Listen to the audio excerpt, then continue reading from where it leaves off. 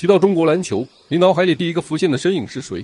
我第一个想到的是姚明，那个曾经中国篮球史上的风云人物。在篮球场上的姚明叱咤风云，虽然很大只，但一点也没有傻大个的感觉。在水深似海的美职男篮 NBA，也能够混出个名堂。尽管将大半的时间泡在球馆里，没有在教室里读过多少书，但他给外界人的感觉还是很聪明的。说话表达也都幽默风趣，展现出了高情商，再加上出色的英语天赋，让他很快便是融入进了异国他乡。这一点是巴特尔、王治郅等人都做不到的。二零零八年的中国男篮。算是男篮组建以来有一个黄金时代，在姚明这个亚洲第一中锋的带领下，中国男篮也是众望所归，打进了世界前八强的行列之中。依稀记得二零零八年的八月十六日，那天是中国男篮小组赛的生死战，在该场比赛里，中国男篮最终以五十九比五十五的成绩战胜了强大的德国男篮，成功杀出了死亡小组晋级八强。尽管在最后的四分之一决赛上，输给了立陶宛，遗憾止步八强，但还是追平了中国男篮奥运的最好成绩。那一年的姚明，既是中国队的当家球星，也是休斯顿火箭队的当家球星，全明星首发球员，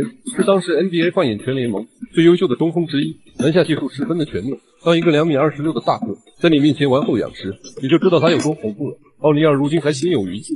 然而，就是这么一个在篮球场上叱咤风云的聪明人物，在当了篮协主席后，确实连一碗水端平都做不到。这三年里，他究竟都做了什么？竟让球迷们如此失望。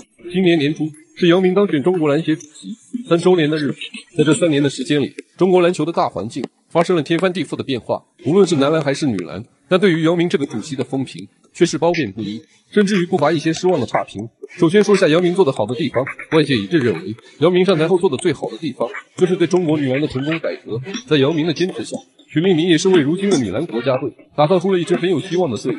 展现出了能与世界顶级强队抗衡的水准。不光在先前奥运的预选赛上击败了篮球强国西班牙，还在世预赛上以三十三分的巨大分差战胜了世界排名第三的法国女篮，涌现出了像李月如、韩旭等这些优秀的国手，甚至得到了 WNBA 抛出的橄榄枝。可见这些姑娘们的优秀，如今也已是成功拿到了世界杯的门票。可以说，如今的女篮是承载了姚明的希望，但在男篮的改革方面，就是两极反转了。当上任的姚明将男篮分为红蓝两队，分别由李楠和杜峰执教。来进行良性竞争，这让更多球员能够得到代表国家出征的机会。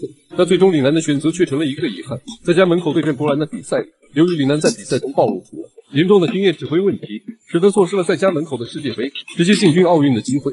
刚当上篮协主席，就让男篮无缘奥运会，这也是姚明的一个遗憾。篮球场上叱咤的姚明，自打当了篮协主席后，为何连一碗水都无法端起？且不提自姚明上任以来，中国男子篮球队首次无缘奥运会。如今的中国男篮和 NBA 一般，竟呈现出了南北对立的局面，这就有些莫名其妙。在先前中国男篮的历史上，还从未出现过两派互喷的恶劣文化，如今却以北派的辽宁代表和南派的广东代表为首，两派的粉丝在网络上进行着国粹交流。其次就是球场上裁判员的执法问题。众所周知，篮球是一项有着激烈对抗的运动，这也就意味着裁判员需要绝对的公平公正，至少要一碗水端平。但如今的 CBA 联赛却出现了诸多裁判的上升问题，不管是有意还是无意，亦或是本身的水平问题，球场上总是经常出现一些让人无法理解的哨声。在这还有联赛的体育风尚逐渐下降，球队之间故意伤人的现象频发。